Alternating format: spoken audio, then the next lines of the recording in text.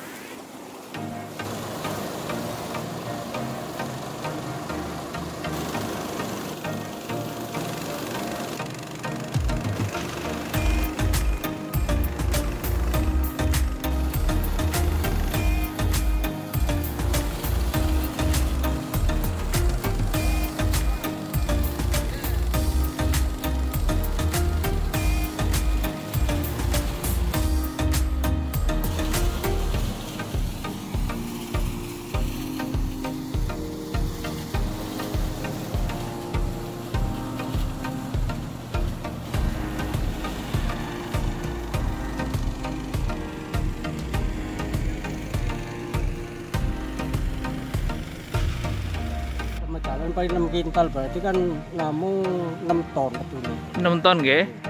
Oh, nggih. Ini regane pinten, Pak?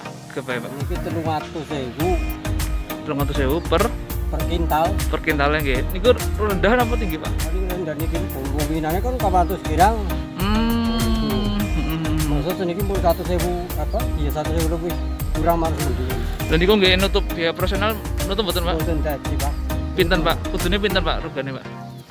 Jane sebenarnya jane 400 jane ini 400 nggih. Oh.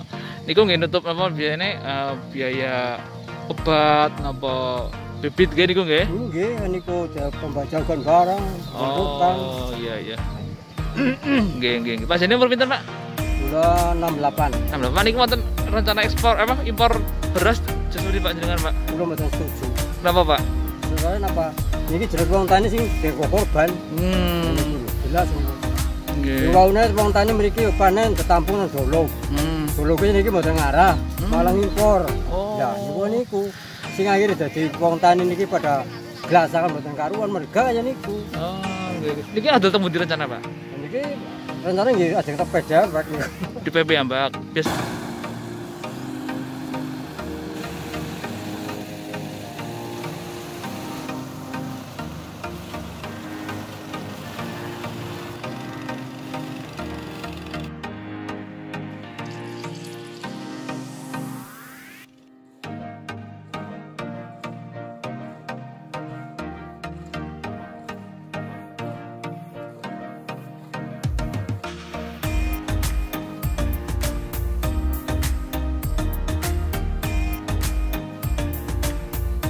Rahmat Sarif Azrin. Eh, Mas Rahmat ini sebagai apa Mas? Ya, saya sebagai Sekjen DPC Perpati Kabupaten Purbalingga. Hmm, ini yang dialami sekarang ini apa Mas? Terkait Ya, dengan rencana. isu impor secara nasional, impor beras, kami sebagai DPC Perpati Kabupaten Purbalingga secara umum menolak impor beras karena memang produksi eh, panen gabah saat ini melimpah dan produksi beras sangat melimpah.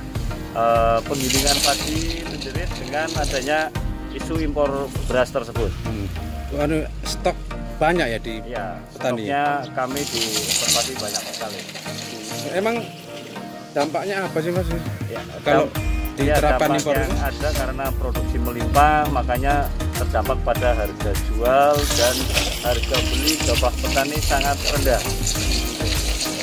Terus pinginnya apa Mas sebagai Ya, kami sebagai eh, bahasanya pelaku dagang beras, eh, Bulog ikut serta berperan dalam menangani kasus